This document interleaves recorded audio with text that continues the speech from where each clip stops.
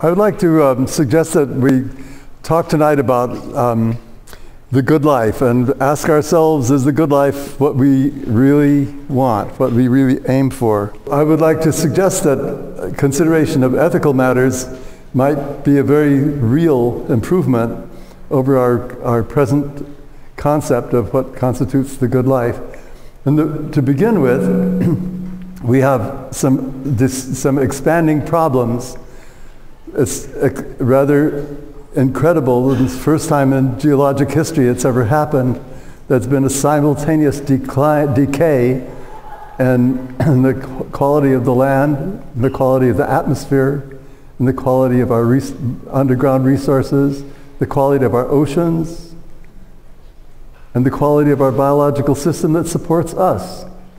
So we have a complexity of the, uh, this, I'm sure, is not really news to any of you that we're, we're pro- projecting into a, into a future that is, is looking pretty much like um, so- something we need a Red Cross to help us help us out of it.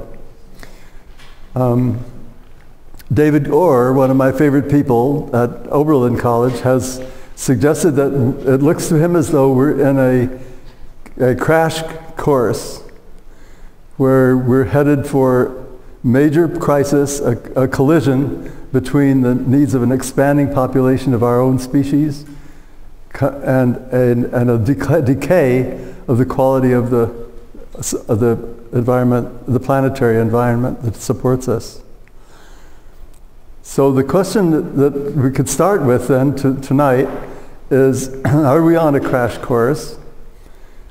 What are we using as a sort of a criteria for what we want to be in the longer term? And, and are there ways of, of improving our prospects and of trying to avoid the ma- major kind of crash damage?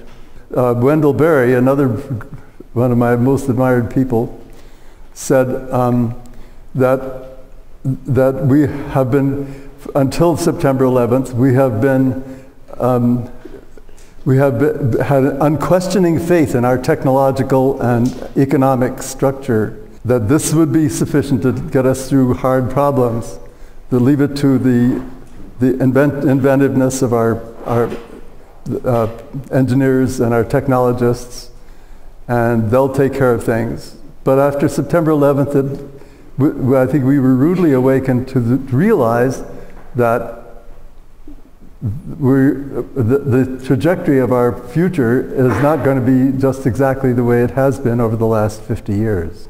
I'd like to turn for a minute about guiding principles that we would consider how, how our society works. From the time of the, the biblical times, from uh, through the times of um, the Middle Ages and, uh, and say about to the 18th century, the way, the way our civilization um, was, should we say, was regulated was by a set of moral or religious directives. And these were almost always focused on negative rules. So for, for our purposes tonight, I'm discriminating between moral rules, which are saying thou shalt not, and ethical rules, which are the other end of the behavior extreme, which would be then what would really, what would guide you to a good, a good conclusion. So look at ethics as perhaps a guiding star that points a direction for us to proceed in, in contrast to a moral diction which says, don't do this. Now back to, the, to our, our, the good life. Um, I'm afraid that, I, that in, in, my opinion, it seems to me that our dependence on technology and economics has led us to the point where we feel that everything is great if we have an SUV vehicle and if we have a laptop computer and the, the, gimmicks that, that, that make things work more easily in our present situation. I think that from David Orr's commentary about the possibility of a big crash and Wendell Berry's concept that maybe we're, we're not going to be as comfortable with these kinds of, of um, should we say, happiness makers as we have been in the past. This leads me then to the, I'd like to expand on the concept of ethics. I'm sure you're all very surprised because my father was, of course, the one who really um, established the concept of ethics and environmentalism. That's, of course, where I'm going. Another thing I wanted to say about our concepts of behavior in, this, in our civilization, our concepts of behavior are that we're in charge of the environment, that we're going to do this with this property, we're going to preserve the, the, the, um, the wild country around the, the campus here at Binghamton University, or we're going to uh, send a man to the moon. And so it's, we're number one. And everything on the earth then is our management responsibility. We're the managers. And the, all of this point of view is very, I'm going to use the word anthropocentric. It's focused on mankind as the, the kingpin, so to speak, that, that is in charge of what happens to all of the ecological things around us. And I'm going to spend some time this, this evening uh, working on a, an alternative direction. And the alternative to anthropocentrism would be to be biologically centered. This would, we'll call this biocentric instead of anthropocentric. When I was a teenager, my father, Aldo Leopold, became quite concerned about the kind of a good life that I've just tried to sketch for you. The concept of the gimmicks, the tricks, the trades that, that, that constitute the good life, and he did a very interesting and very novel, unheard, in a sense, unheard of kind of thing. He decided that he would take his family and he would buy a property out in a, in, in a, farm somewhere where there was none of this. We didn't and he bought an 80 acre piece, which I'm going to show you some photographs. He bought 80 acres out on the Wisconsin River floodplain. There was no electricity, of course, there was no water, there was any of the, the amenities that we take for, as a necessity for our households. And he put the family to work in a situation where the amenities that sort of that I've been talking about as being, I would, you might have guessed, I think of them as superficial, that the amenities were absent and the concept of doing uh, something that would give you a, a rewarding lifestyle without the gimmicks. So I'm going to take you to um, a, um, a, brief tour of the shack. This was a piece of property that, that my father purchased for 80 acres, 80, $8 an acre. He had 80 acres. The, the reason that it was so cheap was that the farmer had grown wheat and corn on it, wheat and corn, wheat and corn, until the, the, the nutrients were completely gone and the soil just wouldn't support anything but sand burrs and, um, and weeds. After the, this, this farmer, poor farmer, had exhausted the soil, he left. And he, he was displaced then by a bootlegger. And the bootlegger, uh, there was a house at the time at the, on the property. The bootlegger set up business in the house and he had the, the, the vats of whiskey down in the basement. But then unfortunately they caught fire. The whole house burnt down and the bootlegger was out in a minute and that was the beginning of, should we say, the, the, the property that had none of the amenities whatsoever. So why don't we look at a picture? Here's a photograph of my father, Aldo Leopold, a professor of wildlife management the University of Wisconsin. And here, of course, here he is working on some aspect of, of the quail. So here's Dad, and about 1930, 35, that was just about the time that he purchased the shack. And the next slide will show you the first view that I had. I was a photography buff at the age of 15, and I climbed a hickory tree, and here you can see a part of the, um, the limb that's of the tree that I'm on. Here we go. I'm on this hickory tree, and I took a, set, a series of shots uh, to make the to get the whole thing. Now there are a couple things I want you to look at. The trees that are in the middle there are elm trees. These were on death's door. They were dying. And it took about three years for them to be completely dead. The, the fields were, were barren, except, as I say, for sandburrs, which were very troublesome on your socks. The, on the top left there, perhaps you can see a, a, a pale place right here. And that is where the soil was so poor that nothing would grow on it whatsoever. And so the wind was causing it to be a sand dune. We called it a sand blow.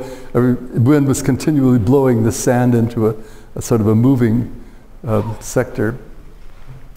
So we say this was less than I had thought of when my father announced that we had bought some property on the Wisconsin River.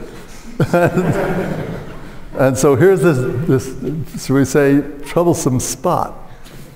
Dad wanted it to be alone. He wanted it to be isolated and not where there's traffic, not where there's electricity and things like this. And here's Dad walking along the road to the shack. and that was at high water, of course, and with the basket with goodies that we used to, to feed ourselves during the weekend and the dog. And the next slide. this little, should we say, this little burgeoning structure. this the beginning of the shack, and so the first thing we had to do was to make a place where we could stay on weekends and vacations. We could be comfortable living there for these short periods. And, and so this is the way it started out. My brother is hammering something over the door. Uh, you can see there's a pipe for fireplace stove. And the next slide will show you farther along. And now Here's Dad with carrying a bucket. I think he's been out watering some trees somewhere that he had planted. I want you to notice, though, that the background behind my father's figure there, it gives you some idea of this, we say, the glamorous um, vegetation on this property. And the next slide will show you even more of that. and here Dad and my sister Estella are planting a bird, bird house, of course. But take a look at the property. It's really that's, should we say, surprisingly um, bare. and so again, uh, there was a lot of work to be done. There was some marsh woods uh, us joining the property, and that was the source of our heat for winter. And there's Dad um, tying the, a rope on a sled that he built, by the way. We've cut, been cutting this, with these, this wood with a two-man saw. The next slide will show you um, the family collected. Mother said, you know, I really don't like that picture. It makes us look like a family on relief. it did. It's really true. So here's dad on the left, mother on the chair on the step, my sister Estella, and my brother Starker. That's the work crew. And all of us pitched in. I'm the photographer, of course. You don't see me. The whole objective of this good life, this stripped down reach for simplicity, the whole concept was quiet, privacy, time to think and to write. And I'm pleased to have this picture of Dad sitting on the bench that we had built and writing in his journal. I don't think I need to explain to the group here that Aldo Leopold's excellent fame has been rested on his perfectly stunningly beautiful essays. So writing and thinking were crucial parts of this whole process.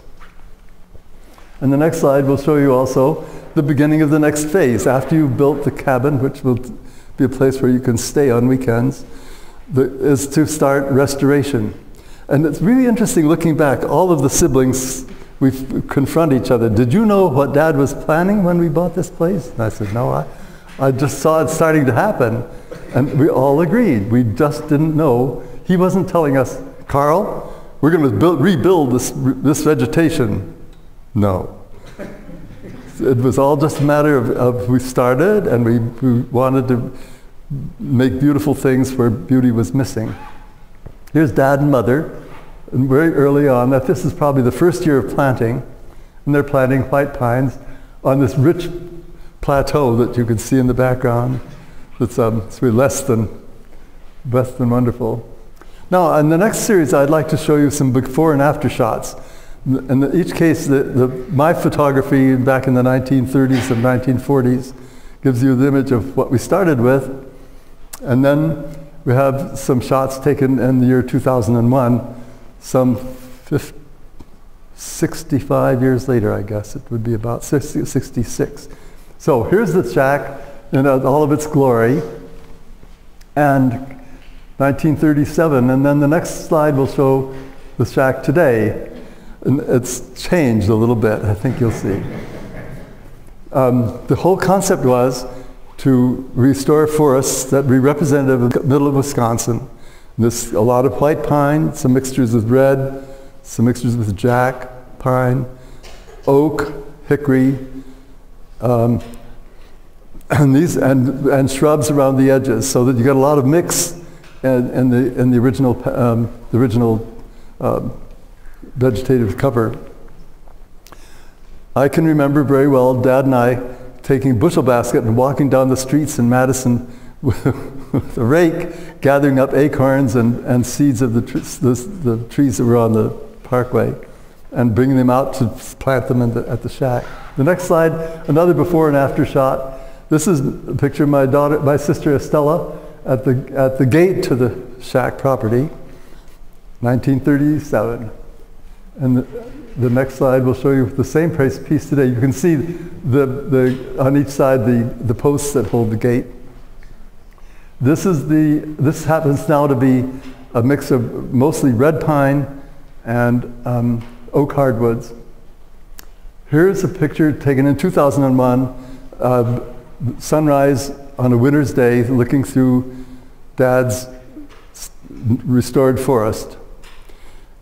And this, I wish I could take a beautiful, as beautiful a picture as this, but this was done by um, a, a professional photographer, a very good one. When the forests were reestablished as, in the pattern that would represent um, the kind of mix that the middle, the sandy um, counties in the middle of Wisconsin would be, would be appropriate for them, it was time then to start really um, putting in uh, prairies. Now, prairies in Wisconsin are intermixed as um, um, as so we say, openings in, amongst the forests. So the typical situation in this country would have been that you'd have pine hardwoods, and then you'd have areas of prairie that were, were burned over at intervals because of the Indians and the um, and storms. Now the prairies, um, when the I think we, with sense of gloom of the first attempts to establish prairie, and I remember going out and digging up native tree, native spe- species of, of, prairie grasses um, along railroad right away, and it was hard work picking them up. We'd put them in the car or in a wagon and, and haul them into plant. That's not the way to restore prairie, I'll tell you. the way you do it is you get rid of your weeds by various tricks, and then you seed in. Seeding is the crucial part, not planting for prairie restoration. And the rewarding thing is that the, the prairie flowers are so beautiful. And so it's extremely, it's a happy event going out in some spring or early summer and walking through these prairies. They're really stunning. The next slide will show you, in one of Dad's essays, he talks about the buffaloes roaming through Wisconsin with their bellies tickled, tickled by the, the, the tall, beautiful uh, flowers and the native flowers in the prairie. So I think of often of of the silphium, but you see the tall six foot flower stems there that's related to compass plant. And let me show you how a professional photographer, this is my, my picture, the professional photographer shows you the next slide. So um, the point I'm building, of course, is that it's an extraordinarily lovely kind of natural um, vegetation that belongs there in that part of Wisconsin. Here's another, this is, this is a, a, a prairie section that my sister Nina had, had restored. and you can see it goes off for a long ways, and the, the mixture of flowers is really, again, spectacular. So here's Aldo Leopold about uh, 19, probably 47. He died three, three or four years later than that. But can, can I transmit to you the importance of this? There are several sectors of this being important. One, it was the, the wonderful challenge of getting away from trinkets. We did all of this with an axe and a two-man saw and a, and a shovel. The second important point is that, that the, the pleasure of restoring something beautiful does think something for your spirit, which is hard to describe. It's not just, isn't it nice? I'm with it. I'm in it. It's mine. Our, the five siblings in the family have share this feeling about this being so much a part of us. We're there. And in fact, my house in Ithaca is now built from pines that we thinned from the planting. So in addition to my planting the trees that grew there, it's like Jack and the Beanstalk, or Jack, the house that Jack built. Jack, the, you planted the trees, you harvested them, you brought them to Ithaca, and you built a house. I, I meant to put in a slide of that. but Aldo look at Leopold now looking very much like a comfortable, a, a comfortable landowner. How's that? I'd like to spend the rest of my time doing something like a commentary on Aldo Leopold's, um, what he left for us and our society. Of course, he's most noted for his land ethic, published in his book, A Sand County Almanac, 1949. Now, I'd like to go with you, take you through a series of, of concepts of how the land ethic changed the over, whole professional field of thinking of this type of ecology. The land ethic, published in 1949, um, was, as far as I can tell, the first suggestion that ethical responsibility and ethical goals could really do something special and constructive for our society. If this was really a good idea, the chances, the chances that it could be judged then on the basis of how much effect did it have on other people's thinking. It wasn't just Aldo Leopold. Who else thought about this?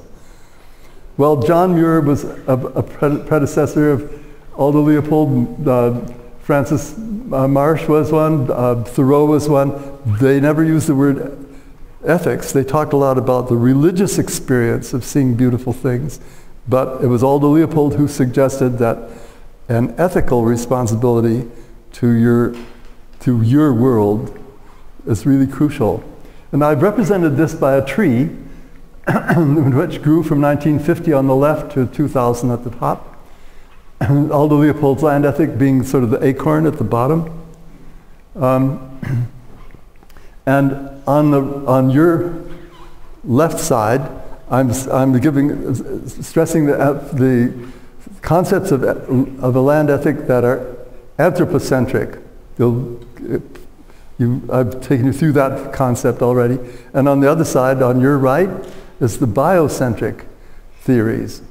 And these are just a few of the ethical um, constructs that have been made by philosophers, biologists, um, careful thinkers in the subsequent 50 years. So let's start, let's go up on the anthropocentric side. The first one after the 1949 start was by Schweitzer, and what he called was the life ethic. And you remember Schweitzer was famous for not wanting to kill anything. Every life form was precious. And, but that's because that's representing what I do to this part of the environment. And it's true also Car Rachel Carson's Silent Spring, where she really fiercely objected to what we were doing to our, and our a biological environment. Going on up to more recent times, Rozzi in, in Italy has suggested a, a, type of ethics which he called ecological ethics. And E.O. Wilson, the famous uh, Harvard entomologist, has um, described biophilia, which is man having, an, a, in a sense, a sort of a love relationship with the biological community. Notice where you start. And of course, uh, Weiss's patrimony of the people, and again, the, the people taking care of the, their patrimony. Can you see that again, the anthropocentricity? Uh, uh, that's a hard word. Anthropocentricity. On the other hand, on the biocentric side, we have uh, the concept of deep ecology. In one of his essays in uh, Sand County Almanac, Aldo Leopold described the concept of taking the human part of the community away from the throne, the bon in charge, the patron, and putting him as a member of the community. And this is exactly what uh, has, has been the central of deep ecology. That is, they want to look at the biological world not as something that we own, that we do this and that to, but rather that it, we are a part of it. And we, can you see there's a distinction? That we are, instead of being in charge of it, that we are, uh, Dad said, the simple citizens of the community. And then another biocentric one would be Griffin's postmortem ethic, which is really postmodern ethic, pardon me. And then the, the most, for me, one of the most wonderful ones is Van Potter's suggestion in 1995 what he called global bioethics, global bioethics, the whole concept of it isn't just that you love Wisconsin, it isn't that you just love white pines, it's that the whole system, world-wise, planetary-wise, is, is a, is a, a biolog- biosystem of which we are a member. I'm illustrating that, that the concept of an ethical relationship to the biological world originated by my father has given rise to a whole family of ethical concepts. And, and then I'd like to diverge to another uh, part of a way to look at the, the, the what, what we say, the, the jewels that my father left for, for us to, to enjoy I'll come back here for just a minute. I've been all my life, uh, I've been a, a, biological scientist and I've lived by publishing papers and publishing books. And, and I know very well how this, the, the time course of what you have done, what I have done in, in my career, and it runs like this. Um, when you publish something and it's accepted in, the, in your community, you get a lot of attention for that and then, the, then there's a decline in interest as time goes on. And by and large, I'll speak of this as the half-life. That is, you lose half of the, the attention when you've dropped 50% of the rate at which you, were, you made a difference. Then the second, that happens in six years. This is true of not just engineering, not just biology, not the natural sciences, his, the, the humanisms humanistic societies also have the same thing, a half-life. You publish something and then it goes through this decay. All right? I want to show you what happened to Sand County Almanac in the next slide. Here's, um, in red, you'll see Carl Leopold's book. Um, and it's classic. Uh, do you understand the, the word, the classic, this meaning that it did what it was supposed to do. It, it, um, it was published in 1964, and by 19 um, 68, it was re- reached its peak. It had got a lot of attention, and its half-life was six years. So six years later, it lost to 50% of its attention. And then another six years, it was almost down to the, to the bare nub. Oh, I didn't explain to you the frequency of citations. Um, probably, probably, most of you know about the, the publication of the International, International Science Information Organization in Philadelphia. They publish cur- current contents, and you've seen a lot of their publications. And they keep track of all the references. You publish a paper, and it's cited in other people's papers. And these are citations, and they're all recorded by a computer in this ISI organization in Philly. Aldo Leopold's book now was published in 1950. It was first cited in any book, any paper, in 1962. And then, 50 years of increasing, increasing attention. I'm, I would like to say that, um, that uh, this is the second line of evidence that I propose that Aldo Leopold left not just an interesting co concept for us, but he, he provided a paradigm change. And those of you who know Tom Kuhn's concept of revolutionary changes in science, that a paradigm shift means that you've presented a completely new and extremely important concept that lives. It's accepted. It, think of Mendeleev's figure, uh, uh, leaving the concept of it, the, the, table of uh, element of the, uh, phys physical elements. This uh, has lasted for 100 years. And that's the, the, almost the definition of what a paradigm shift offers in any, any intellectual activity. So a paradigm shift means that it really changes something central to our thinking. And if it does that, then you get a long persistence of its usefulness. It may ultimately be displaced. Nevertheless, it's long-term and its usefulness. and I'll, give you a, a third thing that uh, gives you some indication of the impact of the ethical concept and the, the restoration concept have been. Um, my friend, a librarian at the institute where I work, has gone through um, the list of all the scientific journals, biological science, looking for, uh, excuse me, journals that would that have carried on a, concept, uh, inclu including the land ethic. There's a, um, a journal called Environmental Ethics, for instance, and this would be one example of, there probably is an ethical society that publishes this journal as part of its pr programs. Um, she was able to bring up um, seven um, such new journals since that, almost all of them from the 1990s. And these are all ones that have ethics as a part of their title. So the journal is really focused on ethics in biology. I asked her to do the same thing looking for restoration because we had been so involved in restoration that although Leopold is so well, well known, of course, for his work in restoration ecology. There is a journal called Restoration Ecology. There's a Society of Restoration Ecology.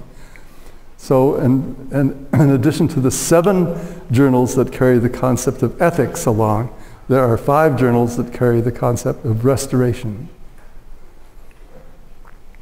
The point of going through this is not braggadocio, but I want you to, to understand the, the, that there are people's legacies that impact some of the basic premises that we have, we have lived by or we have entertained in our, in our thinking of, of the world around us and our interactions with one another.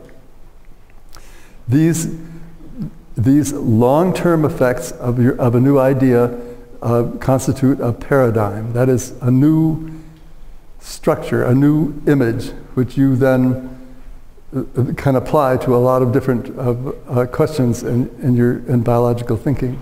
Let me turn then to um, some comments. I'd like to have a few comments about our, our education system. Um, I, I, there's an interesting book by Sullman, S-U-L-L-M-A-N, who talked about the, the, the ability of people to accept really new and innovative ideas. And uh, there's a lot of stories that are fun about Sullman's book. I'm very struck by it.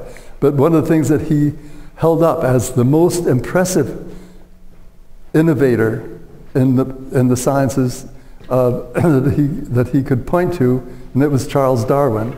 Now let's see, why did he perceive this as being, are we all right? Just to turn the lights up again. Oh, fine. The reason Charles Darwin passed with such flying colors in Sullman's uh, estimate of what constitutes a really important source of ideas, the, the basic concept is that um, you have ability in more than a, a, a very limited specialty. And, and Charles Darwin had uh, developed in his lifetime a high level of expertise in five science sectors. This included geology, it included limnology, it included uh, worms, what do I want to say, nematodes. Thank you. And um, so he had five, and genetics. He had five areas of specialization. What do we see in, in my institute at, at Cornell now? We see that anybody who's interested in the environment is invited to leave because everybody, sorry, everybody is into genomics. I see this with a sense of fear because I feel that we are becoming so specialized, so reductionist in, in our science, and this is reflected in our education system. This is, this is a, a in my opinion, a really um, a scare signal that I feel very uncomfortable with. And I, I know that, I think that Cornell is, is worse about being compartmentalized into little narrow specialties, genomics, than most of the universities, but it's, but it's, it's a major university and it's uh, very widespread uh, in our nation. So the education system has the opportunity of living, giving people a chance to look at, at a wider scope of things than just your specialty. I also fear that by teaching reductionism so with such such tight focus that that we are um, we are preparing our students for what we could have used when we came along and entered science. And you know, I don't think that the technology that you use in our laboratories, in the Boy, say in our Boyce Thompson Institute today, I don't think those techniques are going to be very helpful to people in the next generation. I think the education leaves, has the danger of training you for something that is, is not going to be persistent. And the, the, the way to avoid that, it seems to me, is to expand the, new, the student's concepts and his thinking and his ability to comprehend over a wider range of, of science, science uh, concepts. I've given you a lot of stuff about Aldo Leopold's uh, heritage and how important I think it is. I think I've been able to pull out some evidence to show you that it is important and it is influencing thinking over a very wide sector of, of ecology and environmentalism and the basic sciences too. Um, I, I'd like to finish by talking about my, I, my concepts of why, what, what should we be alarmed about? What might counter the excitement and the, the constructive, constructive intellect of the ethical approach to our world and a, a, a, ability to use restoration to better the quality of the world around us. I have three items to suggest as being very, very serious anti, should we say, anti-prog- anti-progress factors. One of them is greed. One of them is poverty. And the third one is war. Now think, think of this with me. In the case of greed, some of the worst examples of greed are corporate greed because you see there's no, there's no uh, sense of responsibility. All you have to do is look at the, at the bottom line. If you're making money, but then th- that's fine.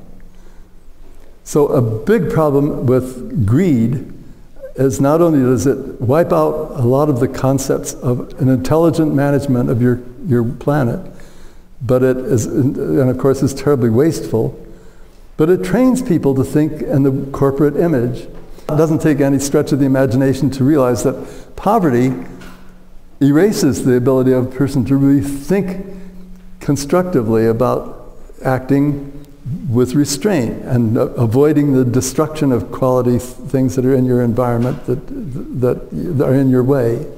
So poverty is an automatic ticket to, to the exclusion of constructive thinking about your environment and uh, your resources. And the third one, war, I don't, I don't think I need to explain anything there. War, if I can just dismiss it and say, war is the discarding of all ethical concepts. It's the worst one because the price in terms of human suffering, in terms of the, not only the environment, but all of all the resources, all of our civilization structure pays an enormous price for war. Um, so I think I've just about used my time. I want to say a few things about the, the Binghamton um, pres Preserve that Dick Andrus has been doing. I think it's simply a marvelous thing.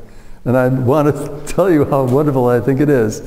I think that um, uh, the Cornell campus, has been dominated by big corporate uh, ideas about how to build huge buildings and get lots of money in from. Um, and I think that it takes someone with a lot of nerve to, to control that and say, no, look, we have a perfectly beautiful piece of forest.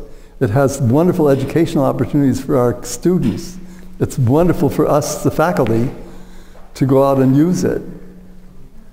So it's a perfectly delightful outcome and a, a very essence of an ethical relationship with the community here in Binghamton. Aldo Leopold, one of his famous um, definitions of the land ethic, as he says, a thing is a thing is good if it preserves the integrity, the stability, and the beauty of the biota. He said the biota is sort of the biological world. And let me say, I, I, the, the acid test of the Binghamton University's new beautiful preserve is it certainly does stabilize the integrity, the stability, and God knows the beauty.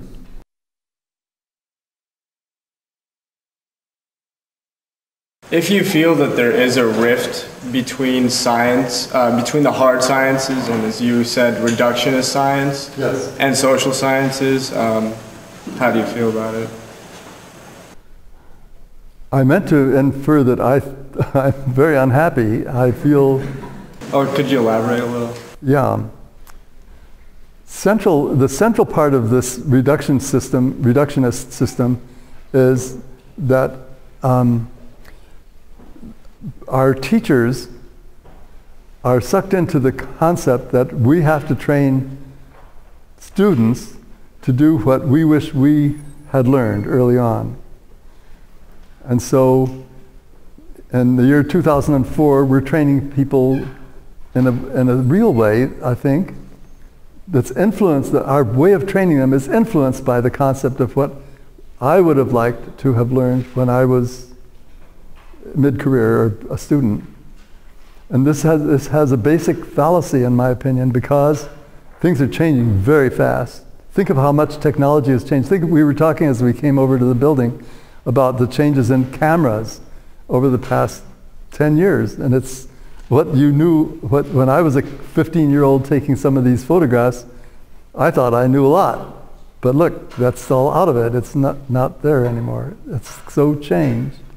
And so the danger is we, cha- we train people too much to do something that's, that, that was prepare them for the past.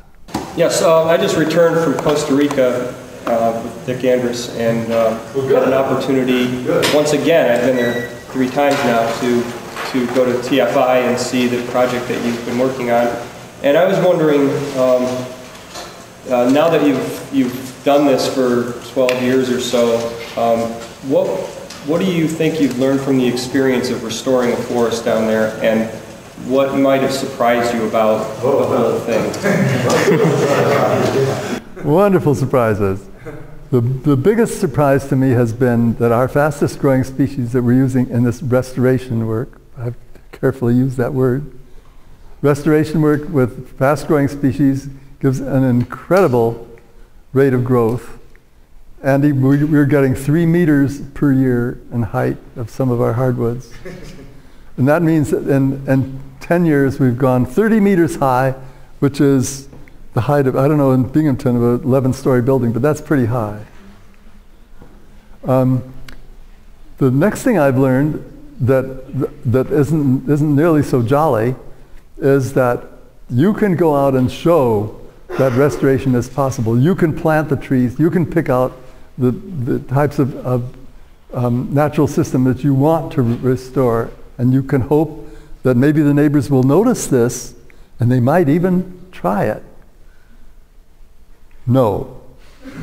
it's just incredible that here we are we're working away and we just throw our hearts into it and you know we really are busting to, to get this, this restoration done. And as far as I can tell, the neighbors think we're sort of crazy. Maybe we have too much money and don't know what to do with it. I don't know, I'm guessing that. But that's example of a real plus and a real minus. But on this subject, if I can wax a little longer on it, because it's such a nice one, the subject is how do you get the complexity of a, of a really a native um, rainforest? The, the numbers of species in, a, in, in an acre of a, of a tropical rainforest range in the level of 10,000 species. Look, we have, in Costa Rica, we have 2,400 species of hardwood trees. It's amazing.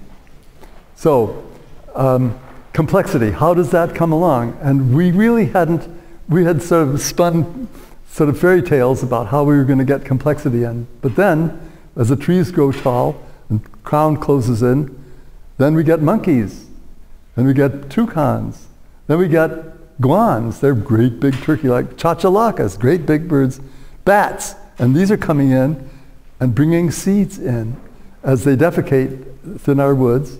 And the seeds, I have some really fun pictures of the, the cre- increased complexity that's coming along spontaneously. We didn't do anything but get the tree cover.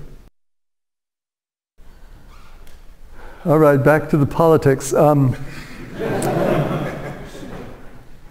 I think um, that the Gandhi type of objection, just res- passive resistance, is, is probably the best thing that we can do.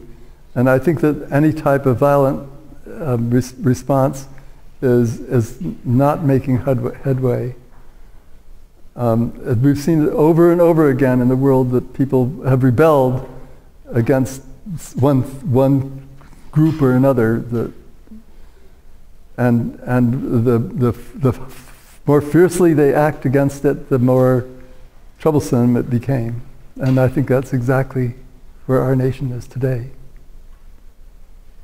Outside of the hard sciences, what kind of uh, specific cultural or religious factors find necessary to extend the, the land or the an ethic to um, other realms like land or other components of land, like other parts of biology? I think that in, in this particular community, the person sitting in the front row over here is a beautiful example of just exactly what's needed to arouse that kind of interest in an ethical relationship to the, to the natural world.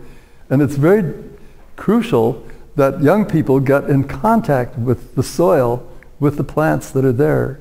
Surely that is about the best teacher of uh, of how to love, I use the word carefully, how to love the environment that we're in, is to be in it and to know about it and to work with it.